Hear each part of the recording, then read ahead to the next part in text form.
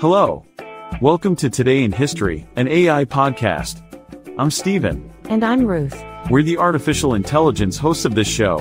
Every day, we'll tell you about the most interesting, consequential, and sometimes forgotten facts in history that happened on this date. Politics, economy, war, religion, culture. One topic every day. Plus something that you would have heard on the news back then on this date. Also, about a holiday somewhere in the world, someone who was born and someone who died. Hope you stay with us. Please enjoy a few minutes to maybe get a little smarter and appreciate the enormity of every single day.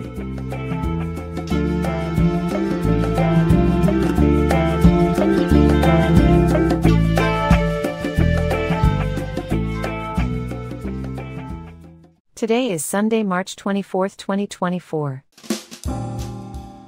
The year is 1922. Our main topic, Irish War of Independence. In Belfast, two men wearing police uniforms broke into a house and murdered a Catholic family in what was believed to be a reprisal for the deaths of two policemen the day before. On March 24, 1922, a tragic event occurred in Belfast, Northern Ireland, during the Irish War of Independence. Two men, believed to be members of the Ulster Special Constabulary, USC, broke into the home of the McMahon family, killing six Catholic civilians, including businessman Owen McMahon and four of his sons.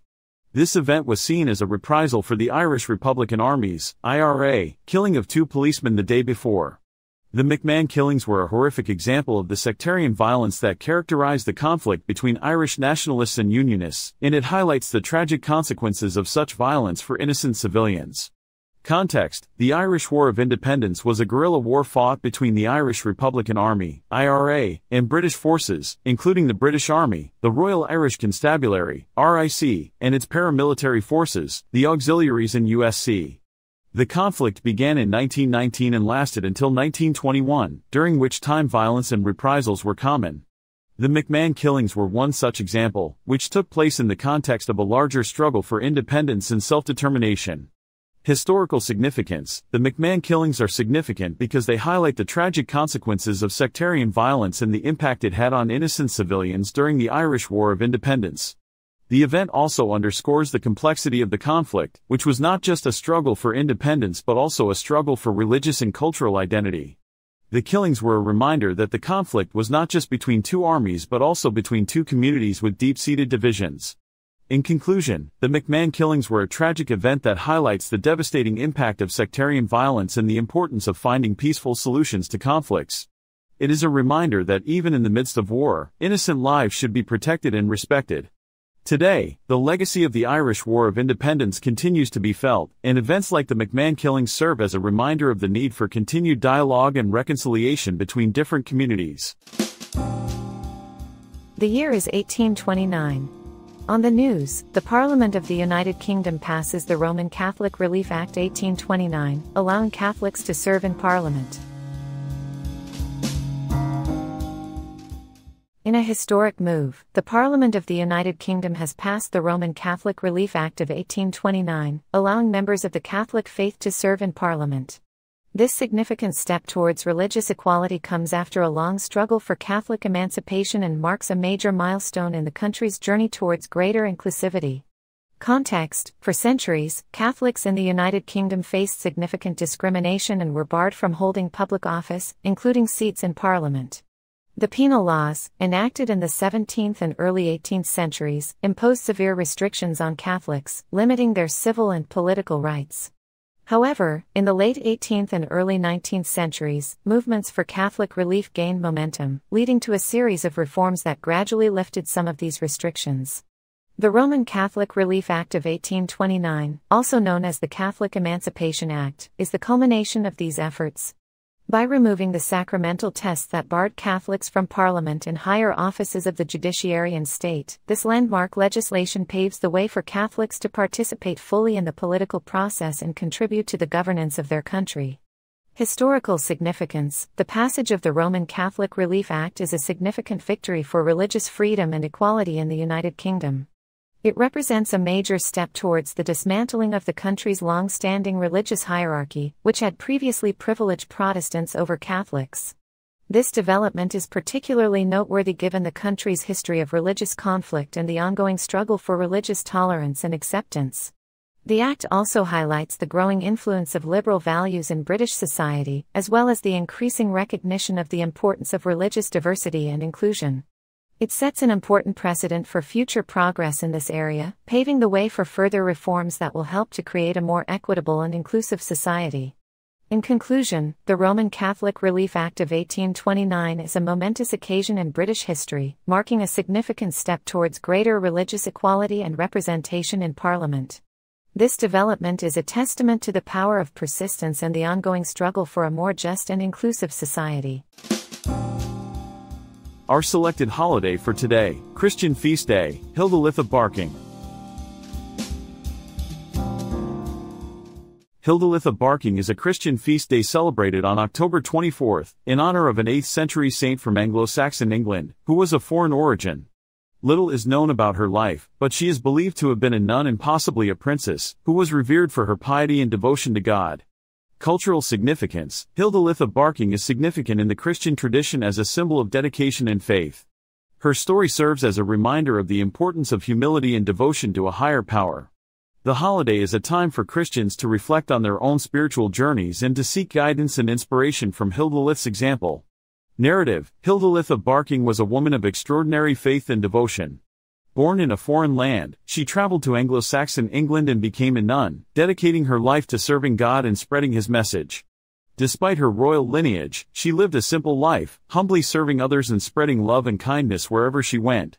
Her piety and devotion were an inspiration to all who knew her, and her legacy lives on through the Christian feast day that bears her name. On October 24th, Christians gather to honor Hildelith of Barking, remembering her unwavering commitment to her faith and her community. The holiday is a time for reflection, prayer, and service, as believers seek to emulate Hildelith's example and deepen their own spiritual practice. Through her story, Christians are reminded of the importance of humility, devotion, and service to others, and are inspired to live out these values in their own lives.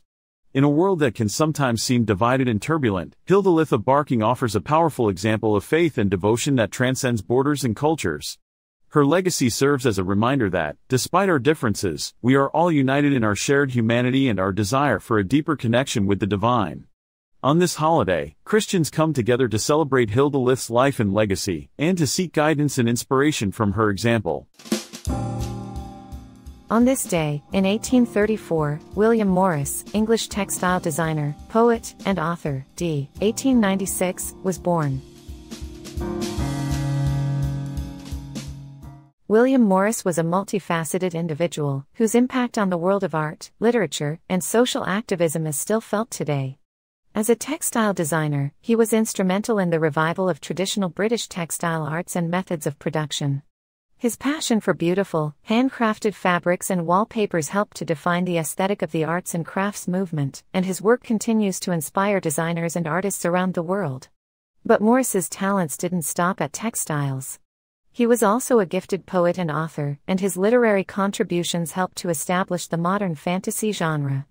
His works, such as The Well at the World's End and The Wood Beyond the World, are still widely read and admired today. In addition to his artistic pursuits, Morris was a committed socialist activist.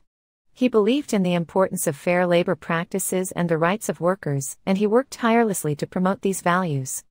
His activism helped to win acceptance of socialism in fin de siècle Great Britain, and his legacy continues to inspire social and political change. Despite his many accomplishments, Morris remained humble and kind throughout his life.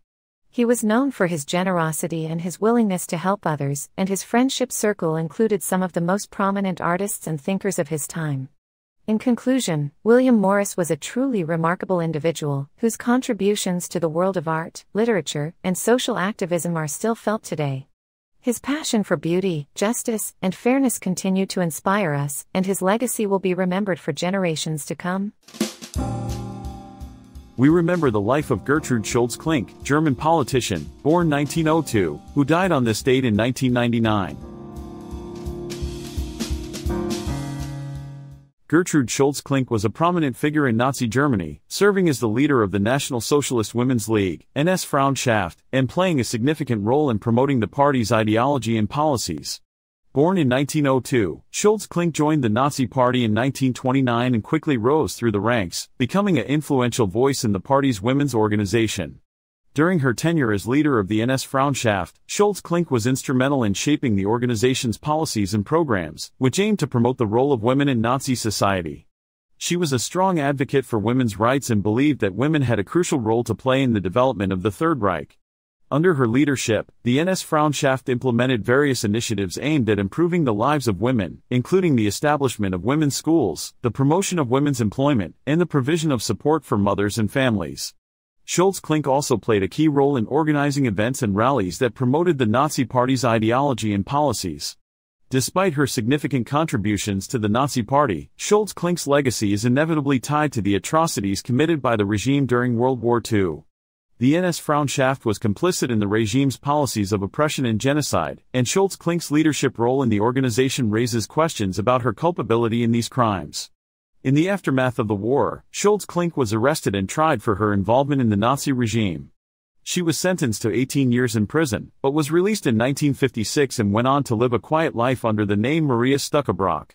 While her legacy is complex and controversial, Scholtz Klink's impact on the history of Nazi Germany cannot be denied.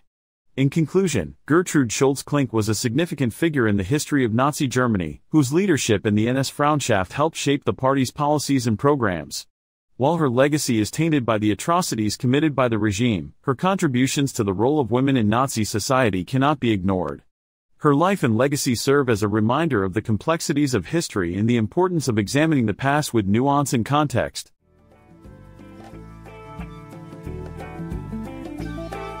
This was Today in History, an AI podcast. Brought to you by Decor Studios. All content was sourced from Wikipedia and processed with open source large language models. This podcast is released under Creative Commons Attribution, Share Alike 4.0 International License. Thank you so much for listening. Talk to you tomorrow.